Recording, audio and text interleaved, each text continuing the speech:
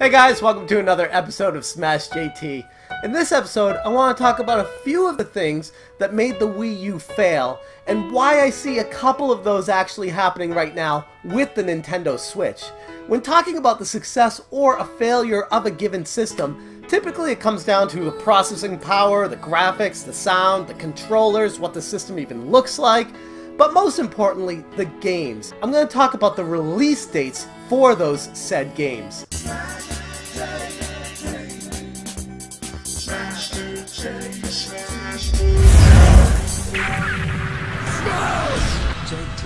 This is something that Nintendo has never seemed to care about in the past, nor have they changed their line of thinking in the present with it.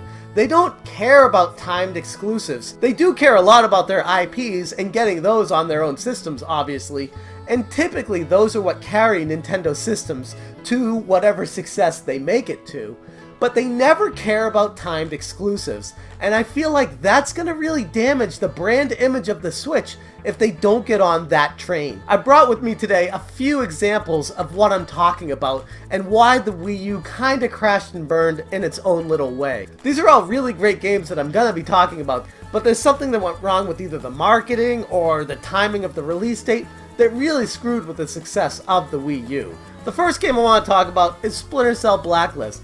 This is an incredible game, but it came out for Xbox 360 and PlayStation 3. And while it did release on the same date, unfortunately the Wii U version was never discussed during the E3 initial press conference for it. So when it released, a lot of people didn't even know it was coming out for the Wii U. In addition to that, the collector's edition never came out for the Wii U either. So if you wanted to get that badass remote control plane that came with it, you'd be getting it for the Xbox 360 or the PlayStation 3. The next game I want to talk about is Deus Ex Human Revolution Director's Cut. Now, the original Deus Ex Human Revolution came out for Xbox 360 and PlayStation 3 in 2011, and this game came out for the Wii U, Xbox 360, and PlayStation 3 almost two and a half years later. So you could imagine the price point of the original game being bargain bin priced while this was coming out at full retail price. That was explained away by the publisher that the reason why it was an increased price was that it actually had a whole lot more content in it. And while that may be well and good, I don't know many people that would jump at paying $60 for a new game when you can get it used or even new for the original version for 10 to 20 bucks. Now, I'm not going to go through all these games and take forever talking about each one of them. You get my point. The same thing happened with Call of Duty Black Ops 2. The same thing happened with Mass Effect 3 Special Edition.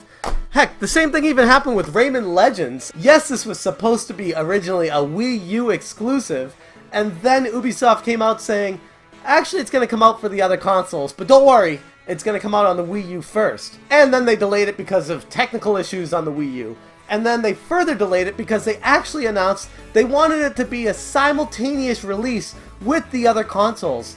So it works in one direction where the companies will hold the game off and make sure it's available for all the consoles if it was supposed to start out on the Wii U.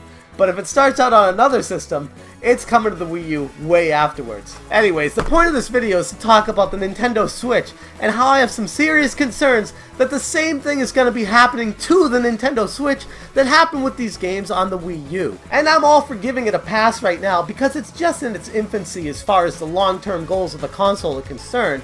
LEGO City Undercover is already available on the Wii U. People who missed out on the Wii U can get it on the Switch now. But again, Mario Kart 8 Deluxe, already available on the Wii U. Splatoon 2, to me, great game, but typically I get the same gameplay experience out of it. It feels like the same thing. It's more like a Splatoon 1.5. It's not a Splatoon 2. It's the same thing as the original Splatoon on the Wii U. You can get the same fun and same experience by playing this on the Wii U and Zelda Breath of the Wild came out for both systems. There's a ton of overlap with these systems nowadays, and I get it. They want to make their money, and there's a ton of money that goes into the development of these games. But the problem is, if you flood the market with the same game on different consoles, you're not going to sell it twice. Well, I actually bought a lot of these twice, but most people aren't going to buy these twice and that's gonna hurt the sales numbers of the games, and as a result, is gonna hurt the overall console sales for the systems. Now again, there are a ton of games that are doing this with the Wii U to the Switch. Just kind of like what happened with the Wii going to the Wii U. Yes, they were sequels of sorts, but it was still the same feeling, the same gameplay experience of the original game that I got with a few minor differences. So when you hear about the same exact game coming out to a system that the game came out three, four years ago and is now being remastered, I'm looking at you, Elder Scrolls V Skyrim, coming to the Nintendo Switch. Yes, I'm excited about it. Yes, I think it's going to be a great game. And I'm not going to buy it at launch because I already own it on the other systems. There is literally no reason to pay full retail price for a game that's been out for years. I don't understand these executives at the game companies that make these decisions saying, alright guys, I know we already got a game made, let's port it to another system, even though it came out two, three years ago. Let's remaster it, let's add features to it, and let's slap a retail price of $59.99 on it. Very few people are going to buy it at full price. Now, I don't know what Skyrim's going to retail at. I sure as hell hope it's not 60 bucks. But whatever it retails at, I promise you, it's going to be more than what it's worth because you can get it cheaper on other systems. Yeah, you might say, Jeff, I want to play Skyrim when I'm out.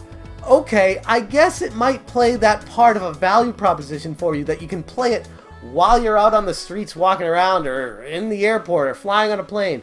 Great. But for the rest of us, we can wait until it comes down to a normal price to get that experience on the go. Because I've seen Skyrim for less than 10 bucks, selling new, not used, for under $10 on the other systems. So I find it really hard to believe that people are going to justify the purchase price of full MSRP for a new game that's already available. And while I don't feel like this is single-handedly going to kill the Switch, because the Switch is awesome, let me just be honest right there. Sidebar, I love my Switch, I love its portability, I love all the games that I got for it, it's awesome.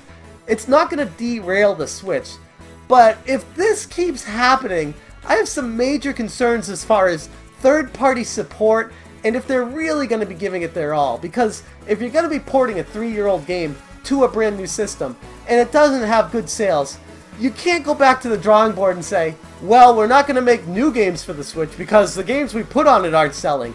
That makes no sense. Anyways, that's all I got for you guys today. Let me know in the comments section what you think about this situation and how you feel about these old games getting ported to new systems. Do you buy them? Do you feel like it's okay?